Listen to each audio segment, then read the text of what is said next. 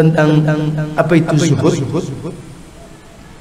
adalah taruh kemala yang yanfa'uka fi akhiratika kalian meninggalkan apa-apa yang tidak memberikan manfaat untuk kehidupan akhirat kalian اتخذوا احبارهم ورهبانهم اربابا من دون الله والمسيح ابن مريم وما أمروا إلا وما أمروا إلا ليعبدوا إلها واحدا. لا إله إلا هو. سبحانه عما يشركون معاشر المسلمين والمسلمات jamaah salat maghrib Masjid Al-Muhajirin IKMS yang saya cintai dan saya hormati Alhamdulillah alladzi bi ni'matihi tatimmu salihat Segala puji milik Allah semata yang sebab nikmat-nikmatnya semoga menjadi sempurna amalan-amalan saleh. Kita bisa melangkahkan kaki-kaki kita dari rumah kita masing-masing, dari aktivitas kita masing-masing menuju rumah di antara rumah-rumah Allah. Untuk mendekatkan diri kepada Allah, menjalankan ibadah salat berjamaah, salat maghrib dan kemudian di tengah-tengah. Baina salatil maghrib baina waktu salatil maghrib waktu baina salatil isya maka semoga ini teranggap dihitung termasuk orang-orang yang salat dan terlebih kita di dalam majelis ilmu. Semoga Allah taala senantiasa dengan sebab-sebab ketaatan kita kepada Allah kita semakin mendekatkan diri kita kepada Allah taala. Dengan kita bertaubat, dengan kita banyak beristighfar, maka Allah pun menyatakan dan tidaklah Allah akan mengazab sebuah kaum yang mereka senantiasa beristighfar dan bersyukur kepada Allah Taala dan dengan mentaati akan perintah-perintahnya dan menjauhi dari larangan-larangannya. Hadirin jemaah yang mulia, pada malam hari ini kita insyaallah berada pada tanggal 22 bulan Dzulqa'dah 1442 Hijriah. Dengan hitungan jari kita insyaallah kurang lebih sekitar 8 hari lagi kita akan memasuki bulan baru dalam Islam bulan terakhir bulan ke-12 itulah bulan Zulhijjah bulan Zulhijjah adalah bulan yang mulia dan termasuk bulan-bulan yang dihormati oleh Allah Taala. Terlebih ada hadis khusus yang mengingatkan kembali untuk kita semua bagaimana kita menggapai dan meraih amalan-amalan yang paling dicintai oleh Allah Taala. Hadis itu dari sahabat Abdullah ibnu Abbas radhiyallahu anhu. Faqala Nabi sallallahu alaihi wasallam, "Ma min 'amalin tidaklah dari suatu amal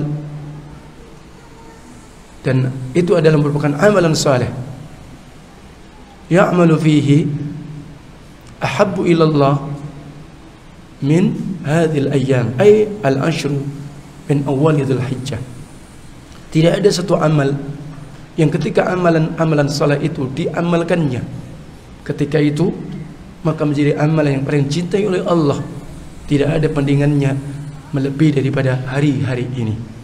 Ini menjelaskan tentang apa? Keutamaan amalan-amalan saleh ketika seseorang diamalkan. Naam ketika 10 hari di awal bulan Zulhijjah. Faqalu ya Rasulullah, maka para sahabat bertanya, "Ya Rasulullah, walal jihadu fi sabilillah?" Tidaklah jihad di jalan Allah.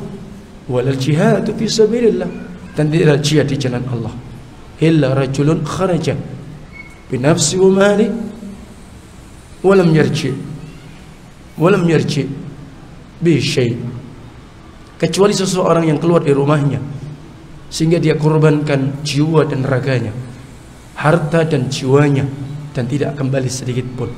Ini pula menjelaskan tentang keutamaan jihad di jalan Allah, jihad yang syar'i. Jihad di atas pemimpin kaum muslimin. Naam. Nah, hadirin jamaah yang mulia, tentu amalan soleh itu banyak. Disebut dengan amalan soleh, amalan yang dibangun ikhlas karena Allah. Wasawaban. Ya, artinya? La budda. Ai khalisan lillah. Senantiasa dibangun di atas ikhlas karena Allah. La riya'an fiha wala sum'ah. La ada riya, enggak ada sum'ah. Itu adalah rukun amalan saleh. Rukun yang kedua, waswaban ala mutaba'atin nabi sallallahu alaihi wasallam dan bagus di dalam dia mencocoki sunnah Rasul sallallahu alaihi wasallam.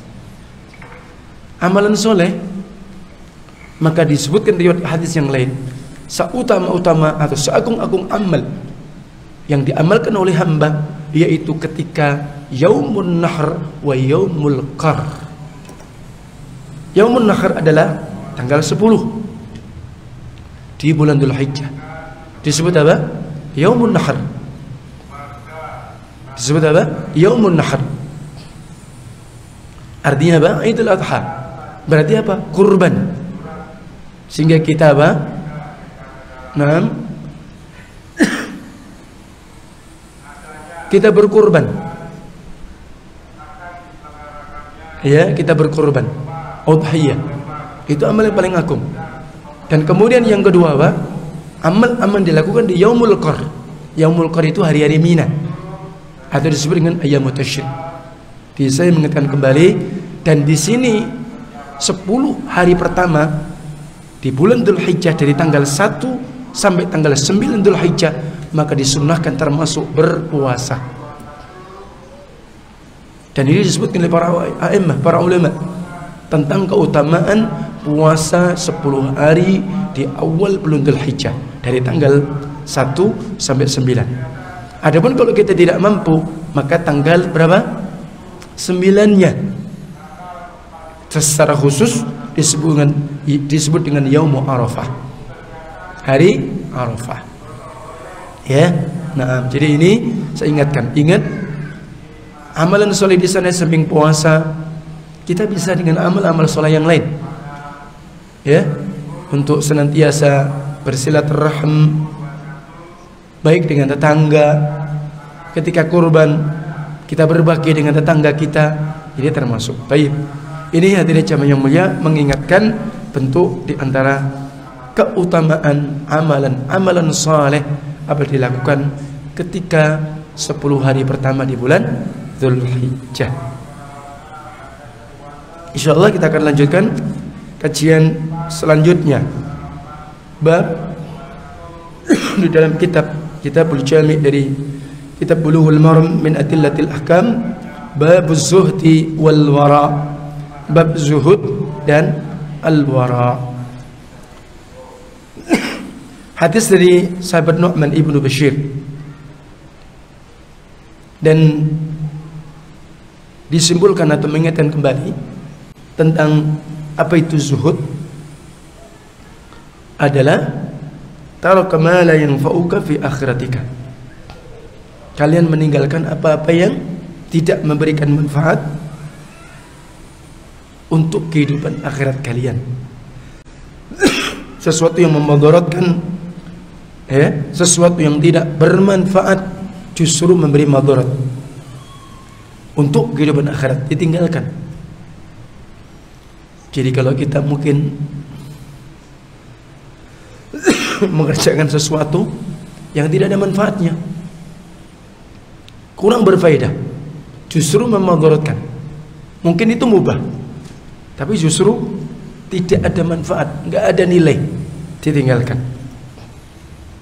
Adapun al-wara meninggalkan perkara-perkara yang samar. Disebut perkara syubhat. Bismillah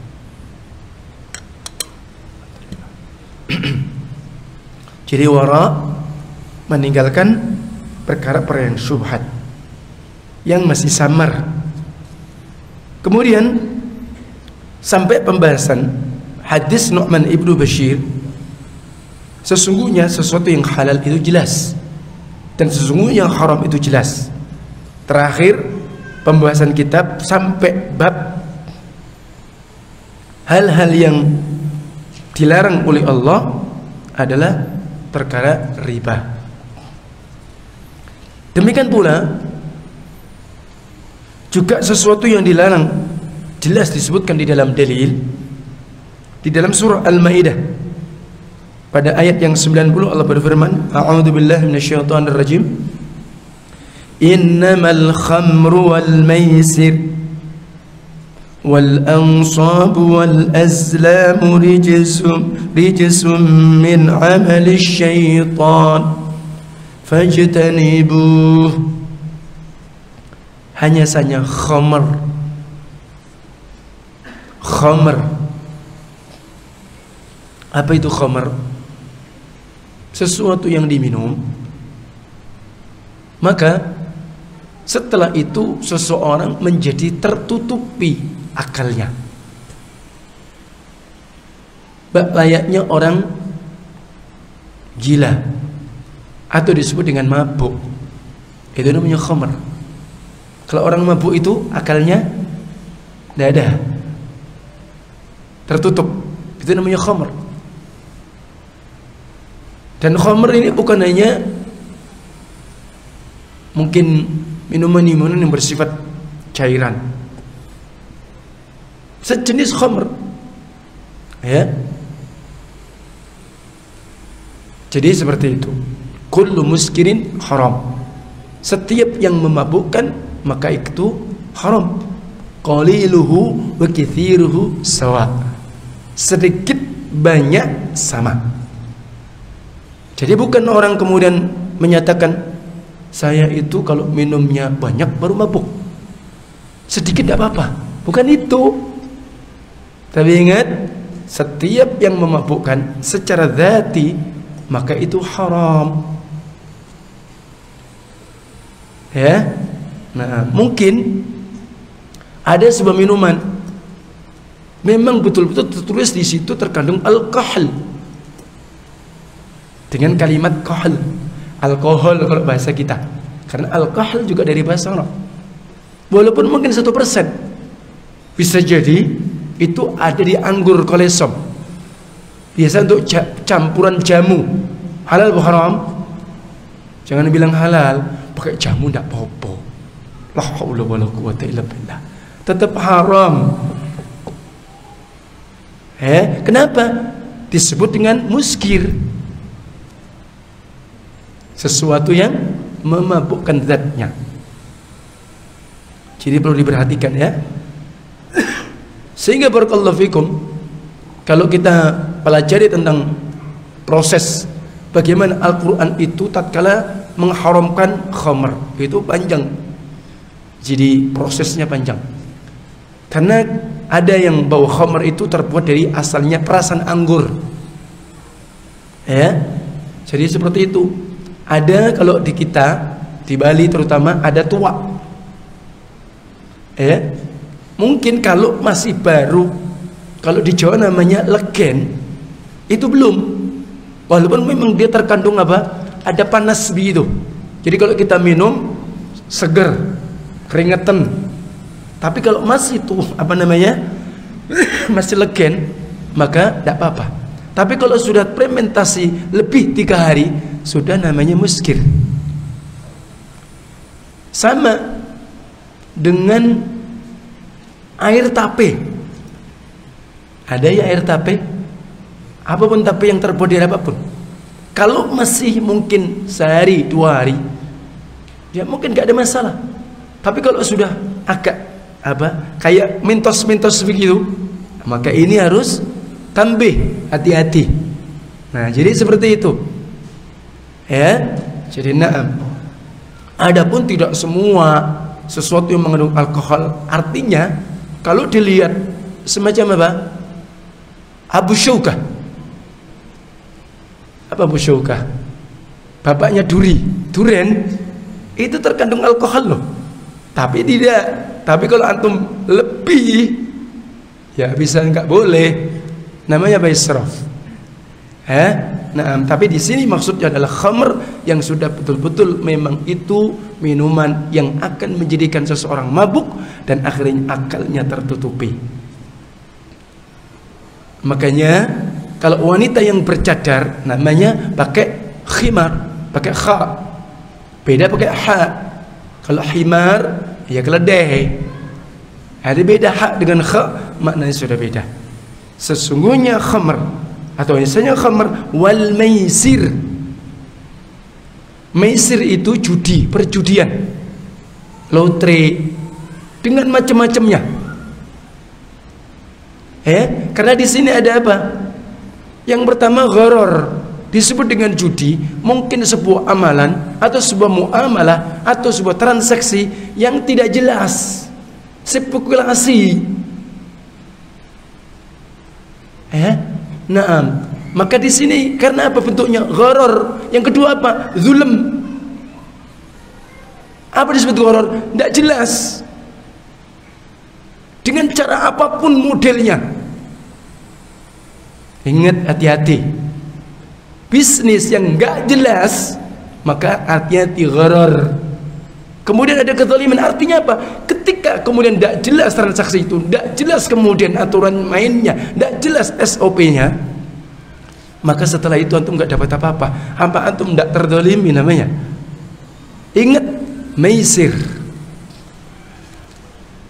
Uh, di dalam fikih kekinian maka ada misalkan seseorang itu ketika beli sebuah produk produk itu semisal susu. Ternyata di sana ada kupon berhadiah. Boleh apa enggak ini? Nah perhatikan. Ada produk susu saya berikan contoh susu. Kemudian ada kupon berhadiah. Boleh apa enggak nah di sini perlu dirinci. Fihi tafsir. Kalau memang antum itu butuh betul dengan susu itu sehingga antum beli dapat kupon berhadiah. Maka dalam ini la ba'sa fi. Enggak apa-apa. Karena memang antum berhajat dengan susu itu dengan barang itu. Tapi kalau antum sebenarnya tidak butuh dengan barang itu tetapi antum ingin dapat kupon ini ya fihi haram. Maka ini termasuk maisir makanya hati-hati. Jadi perlu diperhatikan ya jadi kalau antum beli produk ternyata ada kupon hadiah. Kalau memang antum butuh dengan itu barangnya memang itu susu untuk anak atau bagaimana maka nggak apa-apa. Kenapa? Oh, anak butuh susu itu. Ini perkara faedah saja mungkin hadiah saja. Dapat atau tidak dapat wallahu alam antum dapat. Ya sudah alhamdulillah. Enggak ya sudah. Tapi kalau antum kemudian apa tadi? Tidak butuh barangnya tapi pingin kuponnya maka ini jelas meisir. Kenapa? Gharar antum sudah keluar fulus belum jelas antum dapat hadiah Akhirnya apa? Subhanallah aku keluar banyak tidak dapat apa-apa. Zulm berarti. Bisa dipahami? Maisir. Kemudian apa? Wal azla wal ansab. Ansab ini berhala. Ya? Wal azlam. Mengundi nasib. Kalau dulu di masa jahiliyah seseorang itu tatkala menentukan nasib dia saya nasibnya baik atau buruk? Saya nanti ini kalau mau jualan ini demikian demikian. Itu kalau dia mau safar kadang ada dengan semacam apa? Ya dengan anak panas. Anak panah yang dia bidikkan. Ke mana begitu? Oh kalau ke situ berarti nasibnya baik atau mungkin dengan menerbangkan burung atau mungkin dengan yang lain ini namanya azlam. Rijis. Sesuatu yang buruk, sesuatu yang kotor. Min amali syaitan. Maka dari perbuatan-perbuatan syaitan fajtanibu. Perintah agama apa? Jauhilah. Apa itu? Khamr, maisir, ansab, rala, patung, azlam, pengudi nasib. Ya? Jadi beda kalau Seseorang misalkan mau bisnis, aku ingin ya mengundi nasib dengan bisnis, dengan modal, dengan ilmu, dengan ikhtiar itu beda ya. Tidak bisa seperti itu. Wahada nahallahu anhu subhanahu wa ta'ala dan yang disebutkan di dalam surat Al-Maidah ayat 90 ini Allah telah larang maha suci Allah dan maha tinggi Allah. Termasuk pula Allah berfirman wala taqrabuz zina. Wala taqrabuz zina. Jangan sekali-kali kalian taqrabuz zina mendekati zina. Allah tegaskan innahu fahisyah jangan dekati mendekati tidak boleh kenapa? Sesungguhnya perbuatan zina itu adalah keji. Maka disebutkan keji itu fahisyah fawahish jamaknya. Kalau itu dilakukan oleh seseorang memiliki dampak yang panjang. Itu zina. Beda dengan kemungkaran. Mungkin dampaknya kepada pribadi orang. Tapi kalau namanya perbuatan keji bila dilakukan oleh seseorang satu orang ini berdampak banyak subhanallah. Zina. Ngeri. Ya disebut fahisyah. Wasa'a sabila dan seburuk-buruk jalan. Allah katakan la taqrabu. Jangan mendekati. Allah tidak mengatakan apa? La taznu. Jangan zina. Tidak. Tapi Allah katakan apa? Wala taqrabu az-zina Allah tidak katakan apa la taznu. Jangan kalian zina. Artinya apa? Jauhilah oleh kalian. Sarana-sarana sebab-sebab sehingga Allah itu haramkan sesuatu sesuatu itu haram kadang dengan zatnya Kadang Allah itu haramkan sesuatu dengan sebab wasilah. Dia itu menjadi wasilah kepada sesuatu yang diharamkan Allah sehingga haram. Ketika Allah menyatakan misal wala ta'awanu 'alal ithmi wal 'udwan. Tapi Allah perintahkan sebelumnya apa? Ta'awanu 'alal birri wat taqwa wala ta'awanu 'alal itsmi wal 'udwan tolong menolonglah kalian di dalam kebaikan dan takwa. Tapi kalian jangan bantu membantu tolong menolong dalam dosa dan permusuhan. Sehingga saya sampaikan hadis yang sebelumnya orang yang menjadi sebab kebaikan seseorang mendapatkan pahala. Berarti apa? Ta'awun yang syar'i kan? Tapi kalau orang itu menjadi sebab wasilah menuju dosa dan permusuhan maka jadi hukumnya apa?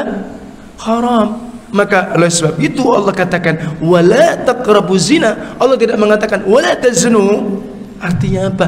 Jauhilah sebab-sebab allati tubdi ila zina. Sesuatu yang akan mengarahkan dan menjatuhkan kalian sebab melakukan zina. Seperti apa? Kan nazar eh? Melihat sesuatu yang haram. Kita berlezat-lezat tentangnya. Apa saja. Sehingga mata kita bisa berzina. Walaupun hakikat zina itu secara syariat jelas. Idzal taqal khitanani wajib al-ghusl apabila bertemunya dua khitan maka wajib yang namanya mandi kan seperti itu. Jadi masuknya apa namanya lubang. Itu zina yang sebenarnya. Tapi ternyata mata juga menjadi sebab sarana seseorang mengantarkan ke zina. Kenapa? Mata ini nikmat. Kalau kemudian dia melihat dia memandang sesuatu yang tidak halal menjadi wasail ila zina. Seperti apa? Yang melihat wanita ajnabiyah wanita yang bukan mahram kita bukan mahram kita. Bukan mahram ya. Ingat kalau masih hubungan darah sebutannya bukan dalam bahasa muhrim. Nek muhrim itu orang laki-laki yang sedih laki-laki ihram. Berarti kalau wanita yang laki ihram namanya muhrimah, namanya mahram. jamaknya maharim. Ingat mahram ya? Nah. Jadi seperti itu maka nggak boleh. Sehingga diperintahkan oleh agama ghaddul basar. Kita menundukkan pandangan. Artinya apa? Ya kalau sedih lewat nggak apa-apa. Artinya apa disebut dengan ghaddul basar itu? Yang kedua dan ketiga hati-hati. Biasa namanya mata. Kadang-kadang suka menipu ya benda yakin benda iya sehingga kadang-kadang ada istilah pepatah apa dari mana datangnya lintah dari sawah turun ke kali. Dari mana datangnya cinta dari mata turun ke hati katanya begitu. Ya sebabnya begitu. Makanya salah satu yang perlu dijauhi dengan apa tadi? An-nazar. Walaupun di dalam syariat ketika seseorang mau menikah itu ada namanya apa? Sunnahnya nazar Artinya wanita itu nggak boleh untuk dia nikmati, nggak boleh dia lihat auratnya sebatas aurat anggota wudhu loh. Kalau nazar itu boleh dilihat karena sebab apa dia? Tujuannya mau menikahi dia. Ada riwayat hadisnya. Tapi kalau nggak ada tujuan itu jangan berlezat-lezat. Jadi seperti itu. Baik laki-laki wanita. Ingat sehingga Masya Allah di zaman kita di masa Android Masa-masa HP Youtube Ya Jadi seperti itu. Termasuk melihat. Kemudian Disebutkan di sini Yang menjadi sebab-sebab Di samping an-nazar Wal khulwah Berduaan laki perempuan. Bukan mahram. Sama ketika nazar juga nggak boleh berduaan. Harus ada teman maka dari siapa? Dari walinya. Ini termasuk berkhulwah. Sehingga di dalam Islam tidak ada pacaran. Ah jadul tuh. Katanya bilang nggak ada pacaran jadul katanya. Subhanallah. Katanya apa eh, ini bukan sudah enggak ini kalau sekarang kan zaman-zaman now katanya. Kan supaya kita ini saling apa namanya? Saling menyelami saling memahami ah semua imitasi bohong. Pasti kalau orang itu pacaran salah satu pasangan atau satu pasangan tadi pasti menyembunyikan yang kurang-kurang ditunjukkan yang baik-baik saja. Yakin Tak mungkin tuh dia tunjukkan yang oh kurangnya begini, pasti yang masya Allah, yang indah-indah. Imitasi apa tidak? Hati-hati. Makanya dalam Islam tidak ada yang benar pacaran setelah menikah baru. Ya sudah taruh, ya kan? Kenal dia siapa? Kalau tanya seseorang itu, tanya lewat temennya, jangan tanya pada orang langsung. Inti siapa? Wah, no, masya Allah. Pasti nggak ada orang bilang, anak ini nomor dua atau nomor tiga. Maka kalau tanya seseorang, kemudian seseorang tanya pada teman dekat, tanya sama tetangga. Jadi begitu. Nah, jadi maka oleh sebab itu khulwah, nggak ada pacaran. Hati-hati, maka yang menjadi sebab repot sendiri. Lebih-lebih kalau sudah ada tunangan katanya tunangan tukar cincin seakan-akan sudah bebas. Subhanallah. Alhamdulillah min akhirnya apa yang terjadi? Hamil dulu. Repot tidak repot? Repot.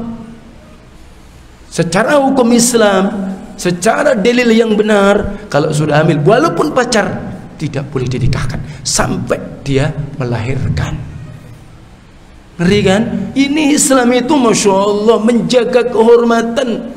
Itu perkara daruri. Khulwah. Wasafar bituni mahram. Orang safar tanpa ditemani wali, tanpa ditemani orang-orang masih hubungan kerabat. Jangan gampang-gampang safar kecuali darurat betul.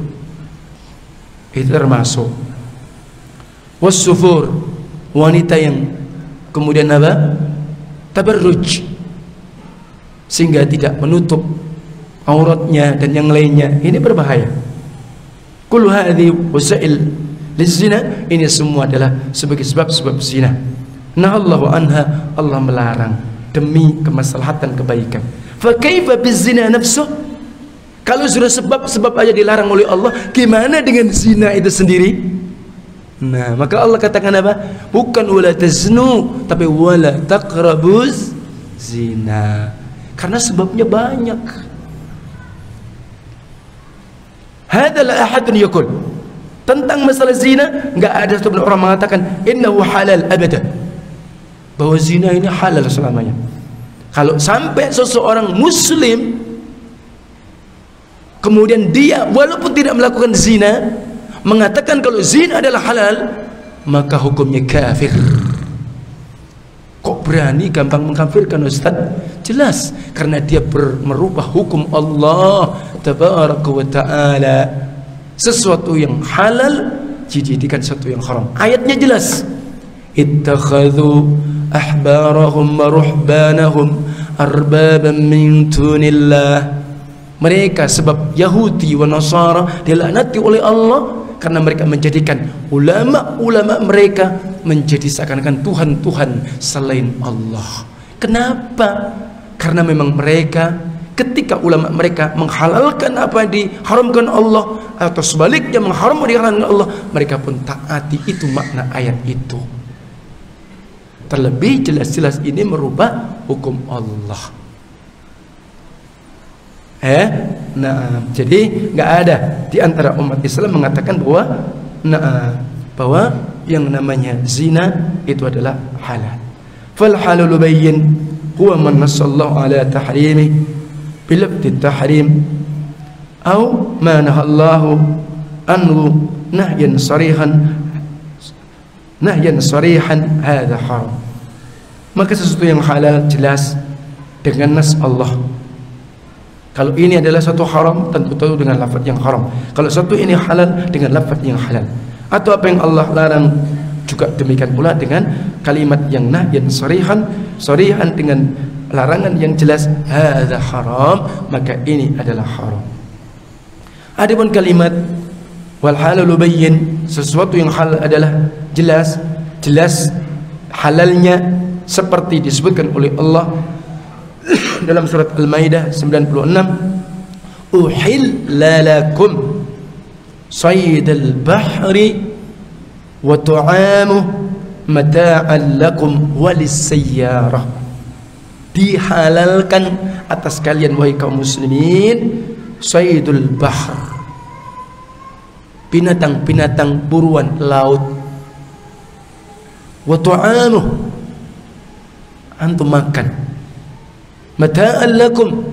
Sebagai karunia nikmat Allah untuk kalian. Walisayyarah. Juga untuk perjalanan. Ya untuk kendaraan. Artinya bahwa semua apa yang ada di laut maka adalah halal. Termasuk bangkainya pula. Ya. Ketika Nabi SAW ditanya awalnya ditanya tentang ma'ul bahar Nabi mengatakan ma'uhu tahur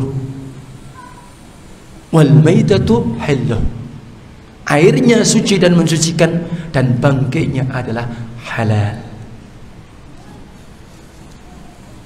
Hadha halal nasnya halal. Atau sesuatu yang Allah diamkan.